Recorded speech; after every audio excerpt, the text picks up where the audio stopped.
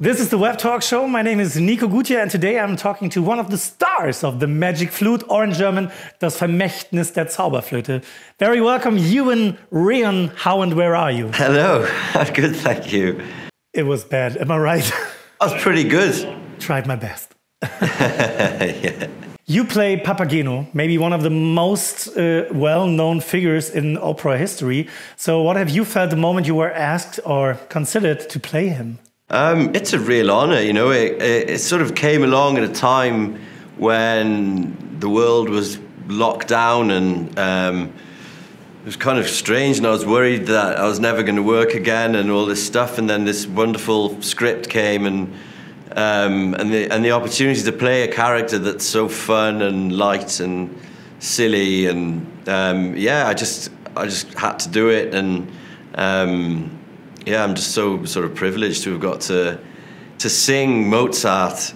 You know, you don't you don't get as an actor. I never expected to be a to be doing an opera um, in my career. So yeah, it's great. It's a privilege. You thought you would never work again? Well, you know, yeah, I always do. but I, I, think you know, with we didn't know what how how the world was going to wake up after COVID and how we were going to you know how the industry was going to look, and you just I think you know start to get a bit paranoid as an actor. Well, well I'm happy you get out of that thought yeah. by this job.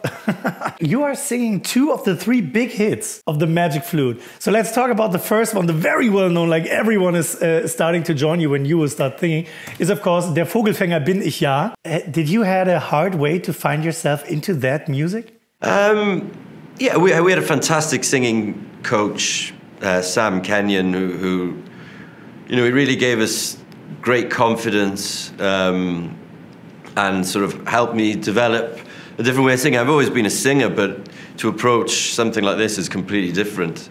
Um, so yeah, it, it was just, um, you know, obviously it's very daunting to have to approach this iconic song and this iconic character.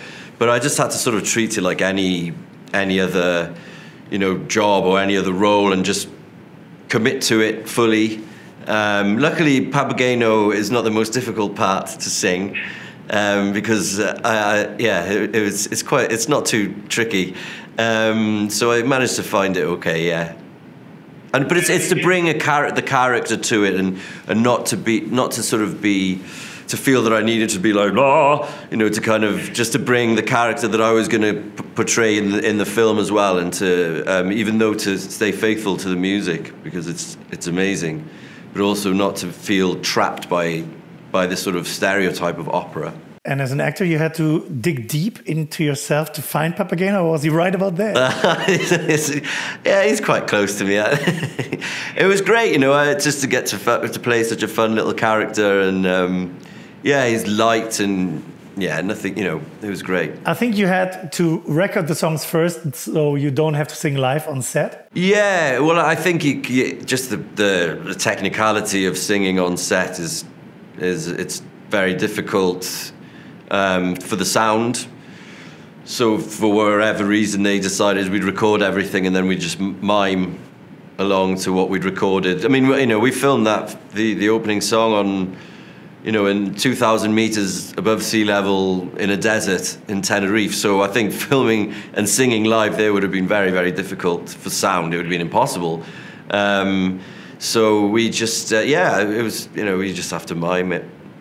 But we got to sing it in the studio, which was great. I'm very happy that you got the chance to not do it blue screen, though you were really in the desert. Yeah, we were there. Yeah, it was a really challenging place to film. Um, very windy and quite cold. Weirdly, it looks very warm, but it was it was cold up there. I hoped so much for you to get some warm places to work on. I know you think, oh, Tenerife, lovely. It's going to be nice, but yeah, it's it's very, it's quite yeah cold and very dusty up there. There's lots of just yeah, but you know, it's cool. It was like upside down Game of Thrones. You were standing uh, on a very large place. Someone you may know describes what you see, how many kilometers, in which way is north. And you were standing, and I, I thought seeing like this yeah, all the time whenever the camera wasn't on you. Yeah, yeah, that's kind of it, yeah. on Wikipedia, it says Ramsay is widely considered to be one of the show's most brutal and hated villains on Game of Thrones. Do you think, do you feel this is true or this is maybe way over the top? Well, the most hated character. I think he should be hated, really. Um, yeah, I, I, I mean, I, yeah, I think it's it's an honor to have been hated that much. It just means that I did my job well, and uh, thank you. Has been uh, a week in the last two or three years where Game of Thrones wasn't mentioned in your life? Yeah, there's been a few, but it does come up quite a lot. Uh, the last time we saw you was in a, a very strange, horrific horror movie about some guys in a house. You may remember it. Yeah, but are we talking about barbarians? We are. Yeah, yeah. I thought, yeah, it, it was a really interesting film. I think Charlie did a great job as a uh, as a, a, directorial debut. Um, yeah, it was. It's it's a it's a real ride of a film, and it's quite interesting. You never really know what's going to happen, and yeah, very dynamic. But yeah, I've only seen it once. I think yeah, a long time ago uh, take a look at it again. It's very scary. Yeah, I remember, yeah, it was quite, yeah. And you're one of the few persons uh, who was able to lend your voice to George Harrison and John Lennon for Family Guy. How did that happen? I don't know. I just got a call um, asking me to, to, yeah, to do an episode of Family Guy, and I of course said yes. Who am I playing? And they said two of the Beatles. I thought, yeah, great, why not? And I, I think I played a Russian commentator in that episode as well. Um, yeah, that was. I don't know how. It, I, I have no idea to this day how it ended up being me doing that, but you don't say no to those things. I guess no one would say no to Family Guy. No.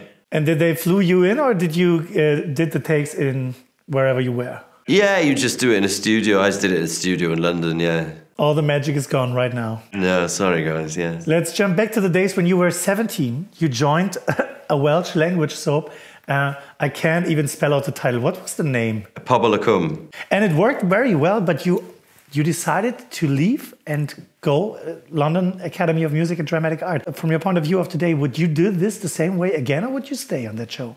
Uh, I would definitely do the same again. Yeah, yeah. I, I think it was a really, it was a wonderful sort of.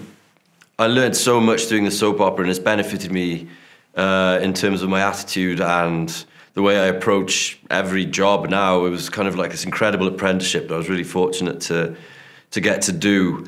Um, but I, you know, I think it's important to sort of challenge yourself and leave the sort of comfort zone. And it you know and it could have become a real comfort zone. And the money was good. I was young. I was earning a lot of money for some of my age. You know my friends were working in mcdonald's and and i was you know filming every day and you know uh, um, so I, I, yeah, and it was actually the producer that really pushed me to go to drama school. She felt that I should go, and I mean I wanted to anyway, but she said, I, you know, I'll help you with whatever you need to to get yourself into drama school.